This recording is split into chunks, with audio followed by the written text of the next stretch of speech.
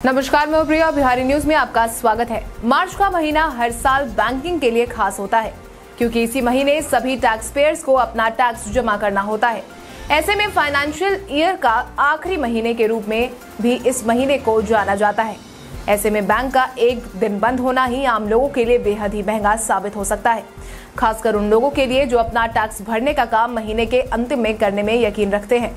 ऐसे में हर साल फाइनेंशियल ईयर का आखिरी महीना होने के चलते बैंकिंग कामकाज पर भी मार्च में ज़्यादा प्रेशर होता है। लेकिन इन सब के बीच बैंक को लेकर जो जानकारी निकल करके सामने आई है, उसके अनुसार मार्च महीने के आखिरी सप्ताह में बैंकों में चार दिन की छुट्टी होने वाली है, जिसमें कुछ स्थानीय अवकाश है तो वहीं कुछ छुट्टियों पर पूरे देश में बैंक बंद है।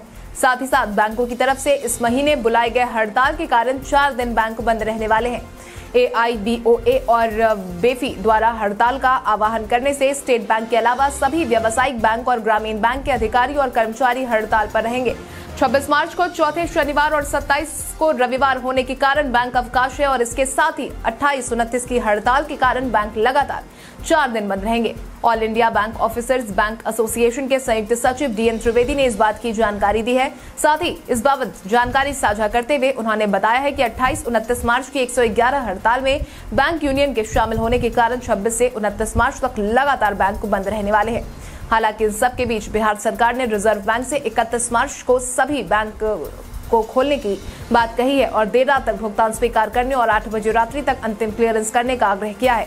इसको लेकर रिज़र्व बैंक के क्षेत्रीय महाप्रबंधक पटना ब्रिज राज को लिखे गए पत्र में डॉक्टर सिद्धार्थ ने कहा है कि वो अपने स्तर से बैंकों की सभी शाखाओं को इकतीस मार्च को खुले रखने का निर्देश दे रहे हैं। इसके साथ ही बैंकों की तरफ़ से देर रात तक राजस्व भुगतान स्वीकार करने की बात भी कही गई है।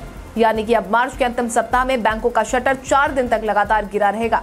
इस कारण बैंकिंग सेवा लेने में थोड़ी सतर्कता बरतनी होगी। ऐसे में अपना ज़रूरी काम पहले ही निपटा ले, वरना चार दिनों का इंतज़ार करना पड़ेगा। क्योंकि इनकम टैक्स रिटर्न भरने की अंतिम तारीख 31 दिसंबर 2021 ही थी, लेकिन 31 मार्च तक छूट दी गई थी।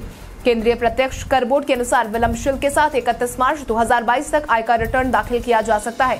सीए रविशंकर दुबे ने कहा है कि 31 मार्च तक आयकर रिटर्न दाखिल करने पर 1000 से 5000 रुपए तक पेनाल्टी लग सकती है। हालाँकि इसके बाद वर्ष 2020-21 के लिए आयकर रिटर्न फ़ाइल करने पर ये राशि दस हज़ार रूपए तक हो सकती है। इसलिए अब अपना सारा काम छोड़कर अगर आपने अब तक अपना रिटर्न फ़ाइल नहीं किया है तो जल्दी करें।